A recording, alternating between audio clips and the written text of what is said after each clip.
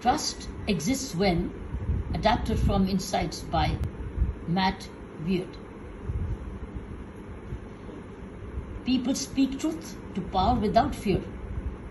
Recognition is your most abundant resource. Initiative is rewarded.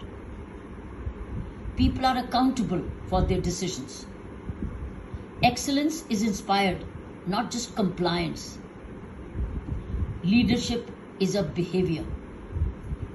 Leaders start with we.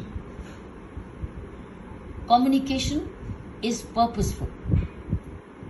People go about their business, not nervous when leaders are around. People are vulnerable. They don't fear saying, I don't know. Picked up from a Twitter handle mentioned in my tweet. Thank her. Thank you.